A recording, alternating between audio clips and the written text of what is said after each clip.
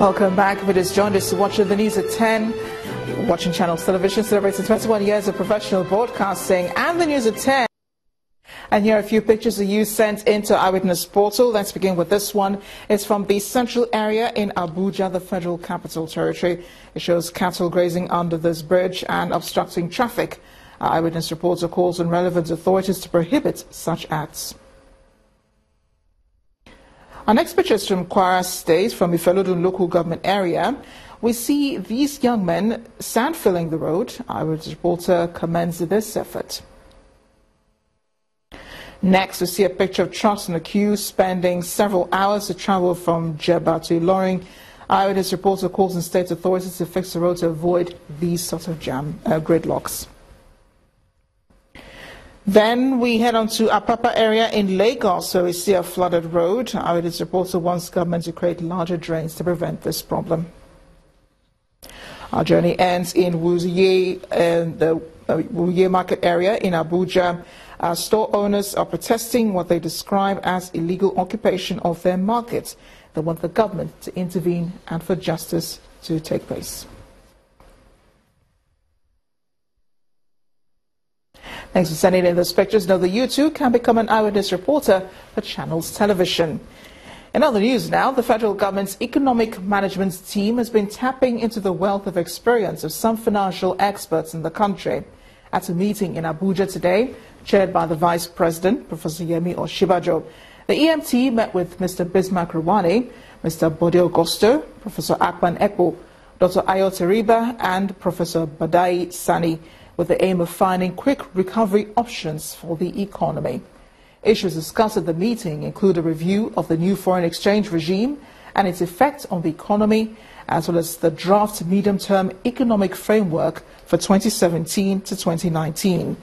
Some of the suggestions put forward at the parley on how to revive the economy include massive infrastructural spending with active private sector participation, ensuring pro-people economic policies, and increasing the supply of dollars to the forex market.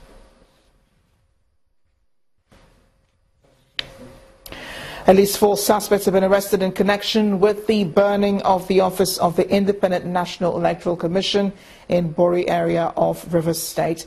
This was announced today by the new Commissioner of Police, Francis Odesanya, in a meeting with the resident electoral commissioner and other officials of the Independent National Electoral Commission in Port Harcourt.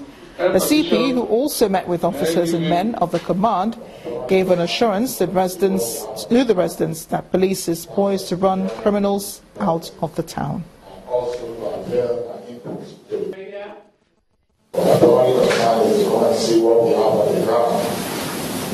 securing these premises and also to avail an input to the on the ground. I am yet to briefing and then I'm yet to address the press. View of what happened in one of the INEC, uh, one of the, the offices at uh, Bori, I felt good. I come to this place to see what's on the ground, and I intend to visit the offices in the territorial government and see what is actually on the ground.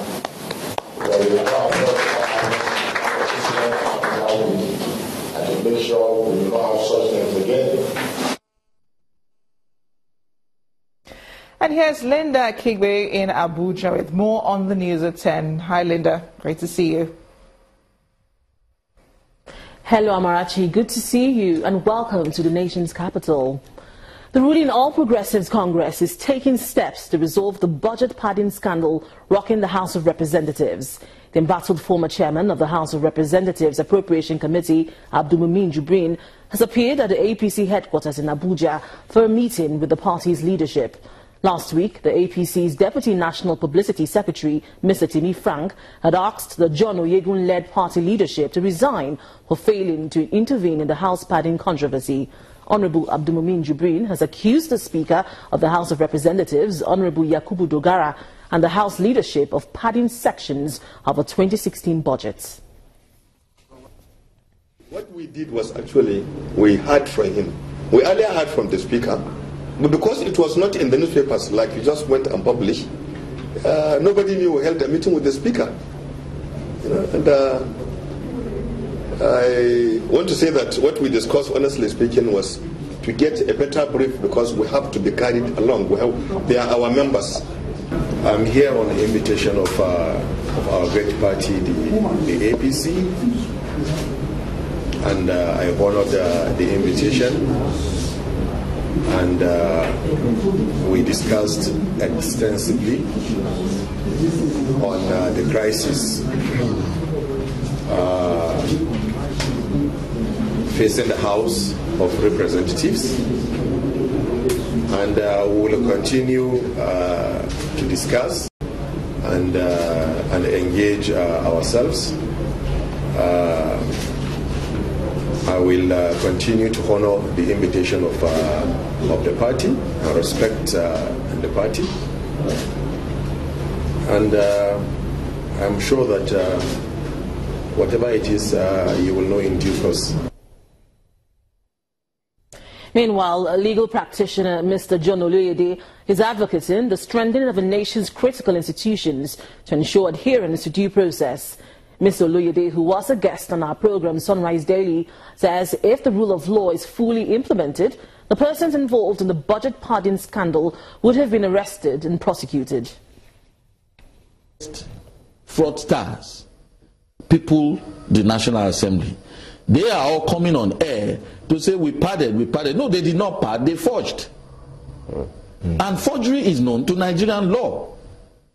And and it is nauseating that I mean all these guys are coming on air and um, different camps boasting and saying, oh, pardon means, oh, according to dictionary.com, this is pardon. A legal uh, dictionary, this is what pardon means. No, if, and that's what we're talking about strengthening the institutions. This is not a situation where Mr. President should take any action. This is a situation, I mean, this is a situation where, for instance, if the police was strong enough, all these people should be in handcuffs. From the person making the allegations to the person sitting as speaker in the, in the uh, house, uh, house of Reps, all of them should be in handcuffs.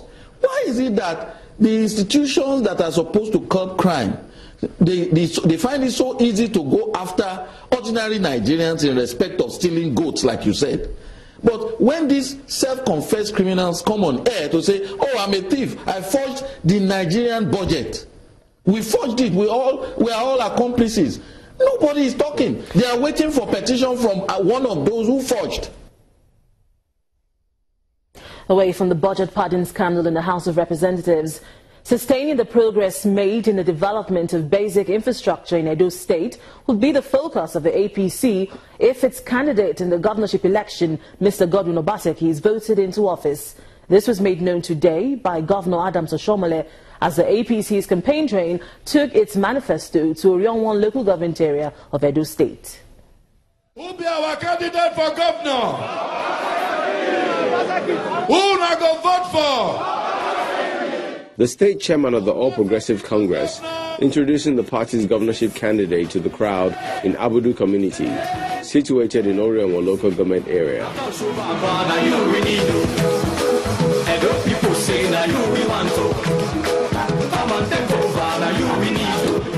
The reception is rapturous, a sign that the campaign team is welcome.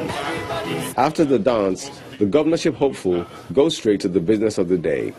More importantly, what I will do, in what we, myself and Philip, will do in the next four years is to emphasize jobs. Now, work, now we won't bring come. When I get work for here, the youth, when I get anything when I do, I go give when I work. If I bring work, when I go work, when I go work, when I go drive tractor, when I go go farm, when I go do industry, when I go work for industry, that is what we are bringing to Orhionmwon. On his part, the state governor, Adams Oshiomhole, recalls how tough it was to get to this present point, but says it was worth it in the end. Together, we drew the vi- we had the vision, and we agree on the mission. We find the good heart to do what we had to do. We fought a very vicious opposition. We liquidated the Godfathers. We liberalized our politics. We returned power truly to the people. He also sets a target for the party's candidate. As the capital of Oriowo, you deserve street light. Obaseki has to provide those street lights, and I guarantee he will do so. So that life does not end at 7 p.m. Nightlife must return to Abudu. With good schools, good roads, you need street light. So that when we say capital, you can feel it. Promises made, which the people hope will be fulfilled. Your coming on board is God's making to redeem the poor and the neglected rural and urban communities in Edo State. Every sign shows that you are God sent. The campaign can be described as a success, building confidence in the party and candidate that come September there will be more reason to dance.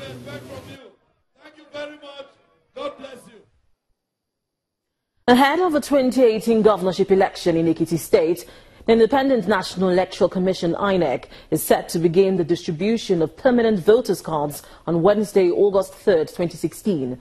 Speaking at the interactive session with stakeholders in Ado Ekiti, the state capital, the administrative secretary of the commission, Musulim Omoleke, who represented the resident electoral commissioner, says the purpose of the meeting is to demonstrate transparency and fairness in adherence to the rule of law.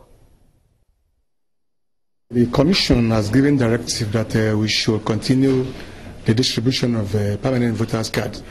And uh, in view of the fact that we believe in the culture of integrity, culture of transparency and fairness, we feel that we should inform all the stakeholders involved.